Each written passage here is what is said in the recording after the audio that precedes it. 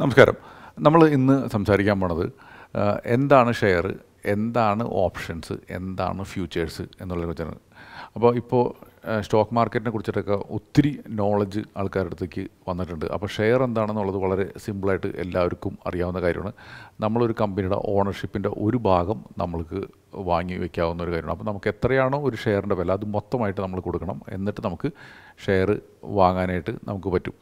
അപ്പോൾ ഇത് സ്റ്റോക്ക് മാർക്കറ്റാണ് ഷെയർസ് എല്ലാം ലിസ്റ്റ് ചെയ്തേക്കുന്നത് സ്റ്റോക്ക് മാർക്കറ്റിൽ നിന്ന് ഷെയർ വാങ്ങണമെങ്കിൽ ഒരു സ്റ്റോക്ക് ബ്രോക്കർ എടുത്ത് നമുക്കൊരു ഡിമാറ്റ് അക്കൗണ്ട് വേണം. ഡിമാറ്റ് അക്കൗണ്ടിൽ കൂടെ നമുക്ക് നമ്മുടെ ബാങ്കിൽ നിന്ന് പൈസ ട്രാൻസ്ഫർ ചെയ്യാം. അതിലൂടെ നമുക്ക് എക്സ്ചേഞ്ചിൽ ലിസ്റ്റ് ആയിട്ടുള്ള ഷെയറിന്റെ ഓർഡർ നമുക്ക് നമ്മുടെ ആപ്പിൽ കൂടെ നമ്മുടെ വെബ്സൈറ്റിൽ കൂടെ നമ്മുടെ ഏതാണോ നമ്മുടെ ഡിമാറ്റ് അക്കൗണ്ട് നമ്മൾ ലോഗിൻ ഉപയോഗിക്കണം അതിൽ കൂടെ നമുക്ക് വാങ്ങാനും വിൽക്കാനും ഓപ്ഷൻ ഉണ്ട്. അപ്പം ഇത് ശരിക്കും ഒരു ഒരു കമ്പനിയുടെ ഒരു ഒരു നുള്ള് ഓണർഷിപ്പിനാണ് ഷെയർ എന്ന് പറഞ്ഞാൽ.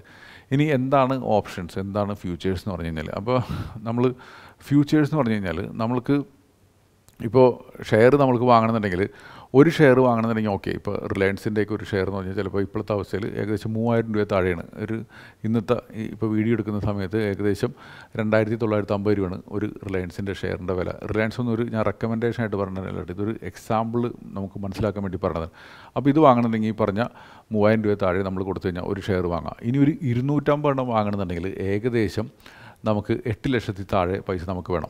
അത് കൂടാതെ അതിന്റെ ചാർജസ് എത്രയാണെന്ന് വെച്ചാൽ മൊത്തമായിട്ട് വേണം. എന്നാൽ ഫ്യൂച്ചേഴ്സ് ആയിട്ട് വാങ്ങണമെന്നില്ല ഫ്യൂച്ചേഴ്സ് എന്ന് പറഞ്ഞാൽ ശരിക്കും പറഞ്ഞാൽ ഒരു കോൺട്രാക്റ്റ് ആണ്. ഫ്യൂച്ചേഴ്സിന്റെ ഓപ്ഷൻ വെച്ചാൽ ഒരു കോൺട്രാക്റ്റ് ആണ്. ഇതെന്ന് പറഞ്ഞാൽ ഇപ്പോൾ ലാൻഡ് വാങ്ങണമെങ്കിൽ ലാൻഡ് മൊത്തമായിട്ട് വാങ്ങണേനാണ് ഷെയർ എന്ന് പറഞ്ഞു കഴിഞ്ഞാൽ ഇനി നമുക്ക് ഒരു ലാൻഡ് വാങ്ങണേക്കാളും മുന്നേ നമ്മളൊരു ഒരു കോൺട്രാക്റ്റിൽ ഏർപ്പെടണം മൂന്ന് മാസത്തിനുള്ളിൽ ഞാൻ ഇപ്പോൾ ഞാനിപ്പോൾ ഒരു പത്ത് ശതം നിങ്ങൾ നിങ്ങളുടെ മൊത്തം ലാൻഡിന് ഒരു കോടി രൂപയാണെങ്കിൽ ഞാനൊരു മൂന്ന് മാസത്തിനുള്ളിൽ ഞാൻ ഒരു കോടിക്ക് ഞാൻ വാങ്ങിക്കൊള്ളാം. ഇപ്പോൾ എന്റെ അടുത്ത് ഒരു പത്ത് ലക്ഷം രൂപയുണ്ട്. പത്ത് ലക്ഷം രൂപ പിടിച്ചോ ഞാൻ മൂന്ന് മാസം എന്നാണോ ഡേറ്റ് അതിനുള്ളിൽ ബാക്കി തൊണ്ണൂറ് ലക്ഷം കൂടി വാങ്ങിയിട്ട് ഞാൻ കരാറെടുത്തോളാം എന്ന് പറഞ്ഞിട്ട് വാങ്ങുന്ന ഒരു പരിപാടി ഉണ്ട്. ഇതാണ് ശരിക്കും പറഞ്ഞാൽ ഫ്യൂച്ചറിൽ നടക്കുന്നത് അപ്പോൾ ഫ്യൂച്ചറിൽ ചെയ്യുമ്പോൾ നമ്മൾ ഈ പറഞ്ഞ ഇതിന് മാർജിൻ എന്ന് പറയും. ഈ പറഞ്ഞ പൈസ കൊടുത്തിട്ട് നമുക്ക് ആ പർട്ടിക്കുലർ ഷെയറിന്റെ ഒരു ഗ്രൂപ്പ് ഓഫ് ഷെയർസിന്റെ കോൺട്രാക്റ്റ് വാങ്ങാം. ഇപ്പോൾ റിലയൻസിന്റെ ഒക്കെ ആണെങ്കിൽ ഇരുന്നൂറ്റമ്പത് ഷെയർ അടങ്ങുന്ന ഒരു കോൺട്രാക്റ്റാണ് നമ്മൾ വാങ്ങുന്നത്. അത് ഒരു മാസത്തേക്കോ ഒരാഴ്ചയ്ക്കോ അല്ലെങ്കിൽ രണ്ട് മാസത്തേക്കോ മൂന്ന് മാസത്തേക്കോ ഉള്ള കോൺട്രാക്റ്റുകൾ നമുക്ക് അവൈലബിൾ ഉണ്ട്. അത് വെച്ചിട്ട് നമുക്ക് വാങ്ങാം. അപ്പോൾ നമ്മളൊരു പ്രൈസ് നമ്മൾ വിചാരിക്കണം. ആ പ്രൈസിൽ ഈ പറഞ്ഞ കോൺട്രാക്ട് ഡേറ്റിനുള്ളിൽ നമ്മൾ വാങ്ങിക്കോളാം എന്നുള്ള കോൺട്രാക്റ്റിലാണ് നമ്മൾ വാങ്ങണം അപ്പോൾ നമുക്കിപ്പോൾ ഈ പറഞ്ഞ ഇരുന്നൂറ്റമ്പത് ഷെയർ നമുക്ക് ഒരുമിച്ച് വാങ്ങണമെങ്കിൽ ഏകദേശം ഏഴ് ലക്ഷം രൂപയ്ക്ക് അടുത്ത് കൊടുക്കണം. അതിന് പകരം ഇവിടെ ഒരു ലക്ഷത്തി ഒന്ന് ഒന്നര ലക്ഷം രൂപ താഴെ മാത്രം കൊടുത്താൽ മതി.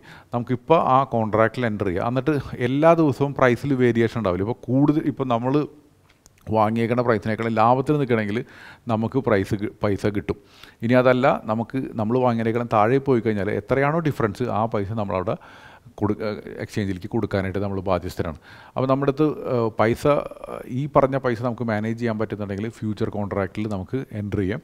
എന്നിട്ട് നമുക്ക് അതിൽ നിന്നൊരു നമുക്കൊരു പ്രൈസിന്റെ ഒരു ലെവൽ കോൺഫിഡൻസ് ഉണ്ടെങ്കിൽ നമുക്ക് മുകളിലേക്കും താഴേക്കും പോകുന്നതനുസരിച്ചിട്ട് അതിലൊരു മെച്ചം ഉണ്ടാകാൻ പറ്റുകയും ചെയ്യും. നമ്മൾ ആ ഈ പറഞ്ഞ മൂന്ന് മാസത്തിനുള്ളിൽ എന്നാണോ നമുക്ക് നമുക്ക് ലാഭകരമാകുന്ന സമയത്തെന്ന് വെച്ചാൽ നമുക്ക് എക്സിറ്റ് ചെയ്യേ.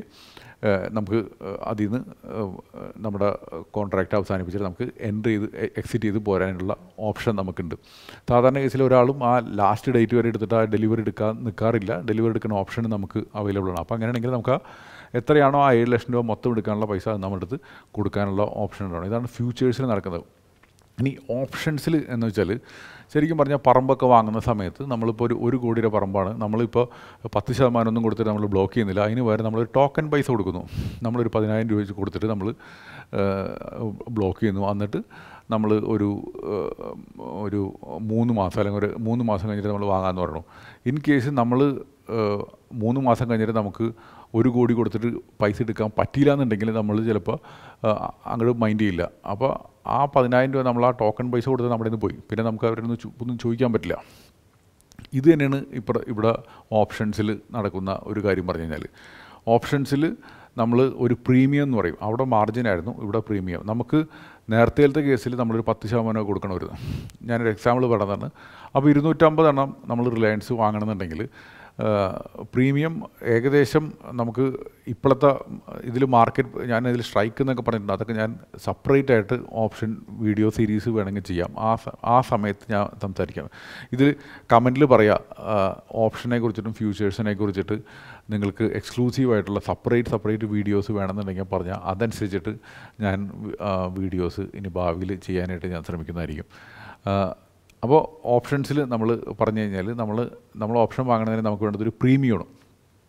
പ്രീമിയം എന്ന് പറഞ്ഞു കഴിഞ്ഞാൽ നമ്മൾ ഈ പറഞ്ഞ ടോക്കൺ പൈസ പറമ്പ് വാങ്ങാനായിട്ട് നമ്മൾ കൊടുക്കൂലേ? അതേമാതിരി നമുക്ക് ഇപ്പോൾ ഇപ്പോഴത്തെ ഒരു ഇപ്പോൾ ഒരു നമ്മൾ പറഞ്ഞല്ലോ റിലയൻസിന്റെ വില ഏകദേശം മൂവായിരത്തി താഴെ എന്നുള്ളത്. അതിനോട് അടുത്തുള്ള കോൺട്രാക്റ്റുകൾ നമുക്ക് വാങ്ങാൻ പറ്റും.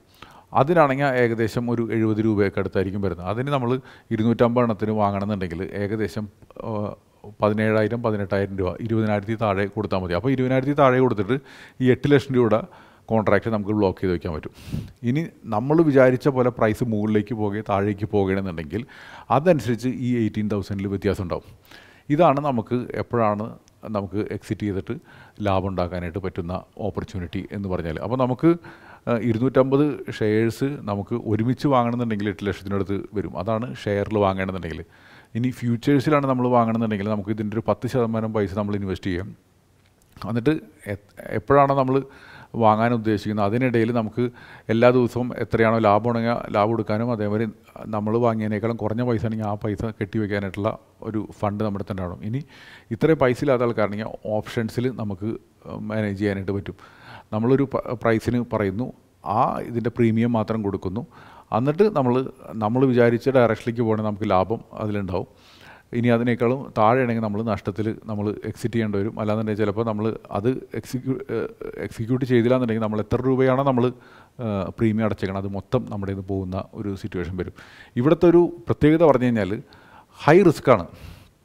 നമ്മളിപ്പോൾ ഈ നമ്മൾ ഉദ്ദേശിക്കുന്ന ഡയറക്ഷനിലേക്കാണ് പൈസ പോകണമെന്നുണ്ടെങ്കിൽ നമുക്ക് ഭയങ്കര ഒരു ലാഭം ഉണ്ടാക്കിയെടുക്കാൻ പറ്റും. എന്നാൽ നമ്മൾ ഉദ്ദേശിക്കാത്ത ലെവലിലേക്കാണ് പ്രൈസ് പോകുന്നതെന്നുണ്ടെങ്കിൽ നമുക്കത് ഇട്ട പൈസ ഭയങ്കരമായിട്ട് നഷ്ടം വരുന്ന ഒരു സിറ്റുവേഷൻ ഉണ്ടാവും. ഇവിടെ ചെയ്യുമ്പോൾ നമ്മൾ ഷോർട്ടർ പീരീഡിലേക്കാണ് ചെയ്യുന്നത് എന്നുള്ളൊരു ഒരു കാര്യമുണ്ട്. അപ്പോൾ നമ്മുടെ അടുത്ത് അങ്ങനെ ഒരു ക്യാപിറ്റൽ ഉണ്ട് അങ്ങനെ ഒരു പൈസ ഉണ്ടെങ്കിൽ മാത്രമേ നമുക്ക് ഇത്തരം കാര്യങ്ങളിൽ നമ്മൾക്ക് ചെയ്യാൻ പറ്റുള്ളൂ. ഷെയർ വാങ്ങുമ്പോൾ നമ്മൾ ആ ഷെയറിന്റെ ഫിസിക്കൽ പൊസിഷൻ നമ്മൾ വാങ്ങി വയ്ക്കുകയാണ് നമ്മൾ ചെയ്യുന്നത്. നമ്മുടെ ഡിമാറ്റ് അക്കൗണ്ടിലേക്ക് ആ ഷെയർ വരും.